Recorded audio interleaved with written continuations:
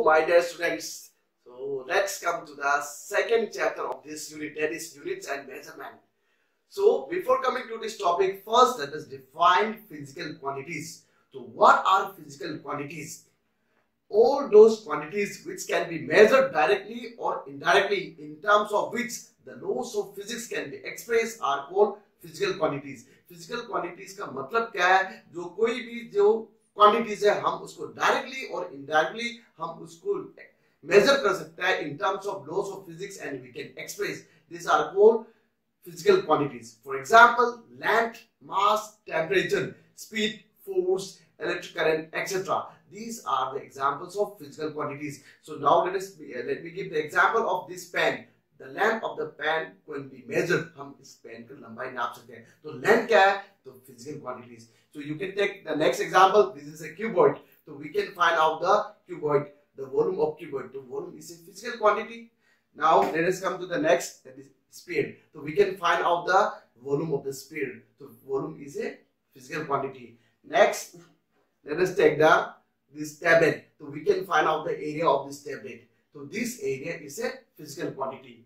So the physical quantities are the building blocks of physics in terms of which the laws of physics can be expressed in mathematical form. तो first सबसे पहले हमें physics में क्या पढ़ने जाना है फिजिकल क्वांटिटीज फिजिकल क्वांटिटीज आने के बाद अलग अलग टाइप्स का आ जाएगा so next is physical quantities are of two types fundamental and derived first fundamental quantities the physical quantities can which can be treated as independent of other physical quantities and are not usually defined in terms of other physical quantities are called fundamental quantities Fundamental quantities का मतलब क्या है ये physical quantities है न किसी भी other quantities में डिपेंड है क्या ये only seven physical quantities fundamental quantities are there उससे कोई है नहीं तो fundamental quantities are the independent quantities which are independent to others. So we need a minimum of seven fundamental or base quantities. These are mass, length, time, electric current, temperature, luminous intensity and amount of substance. These are the seven fundamental quantities or we can say that is basic quantities. Next is derived quantities. The physical quantities whose defining operation are based on other physical quantities are called derived quantities. All the derived quantities other than the seven base quantities are called derived quantities. Means अभी कितना fundamental quantities है seven इस seven के अलावा जो बाकी जो बच रहे हैं, ये सब डिराइव क्वांटिटीज है। तो डिराइव क्वांटिटीज का मतलब क्या है? The physical quantities which are derive from fundamental quantities are called derive quantities for example velocity acceleration force momentum etcetera these quantities are derive from fundamental quantities so now after completing this topic let us come to the measuring process तो what is measurement what is mean by the term measurement of a physical quantity? How is the result of measurement of a physical quantity expressed means measurement सबसे ज़्यादा important है physics में कोई भी चीज़ आपने करने के बाद मेजर होना ज़रूरी है first let us define what is measurement the measurement of a physical quantity is the process of comparing this quantity with a standard amount of the physical quantity of the same kind called its unit means measurement का मतलब है suppose when you go to the market if you want to purchase two metre of cloths तो उसको दुकानदार वालों ने क्या किया?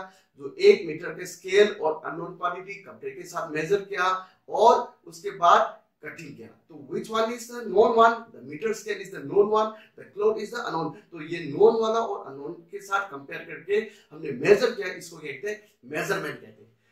To express the measurement of a physical quantity we know we need to know the two things means हमने measurement होने के लिए क्या होता है? दो चीज़ को होना बहुत ज़रूरी है। दो चीज़ को मालूम होना ज़रूरी है। First one the unit in which the physical quantity is express means कौन से यूनिट में एक्सप्रेस किया? लाइक मीटर में किलोमीटर में सेंटीमीटर में, इसी तरीके से सबसे पहले आपको यूनिट मालूम होना बहुत ज़रूरी है। Second point the numerical value और the magnitude of the quantity that is the number of times the unit is contained in the given physical quantity means उसके सामने like मीटर है 10 किलोमीटर है 5 मीटर है तो इसका जो नंबर में भी डिपेंड करेगा so therefore measurement of a physical quantity is equal to numerical value of the physical quantity into size of the unit that is आपने रिप्रेजेंट किया measurement of physical quantity that is Q Q is equal to N U Q represent for any physical quantity को represent किया like area तो Q को हमने represent किया area is equal to nu what is n n is the number and what is u u is the unit तो कोई भी physical quantity में किससे रिप्रेजेंट करोगे q is equal to nu for example length of a room is equal to 5 meter is equal to 500 centimeter इसमें देखो physical quantity क्या है 5 यूनिट क्या है metre is equal to 500 into centimetre unit में आ गई। सो इसमें आप एग्जांपल ध्यान से सुनना, इसमें यूनिट मीटर और centimetre which one is bigger metre is bigger तो मीटर यूनिट ज़्यादा हो तो उसके सामने जो नंबर है, वो छोटा होगा। सेंटीमीटर ये स्मॉलर है स्मॉलर देन द मीटर तो स्मॉलर यूनिट के साथ बिगर नंबर होगा। दैट इज़ 500 तो 5 और 500 किससे ज़्यादा है? 500 ज़्यादा है। इसका मतलब 500 ज़्यादा है, इसके साथ स्मॉलर यूनिट होगा।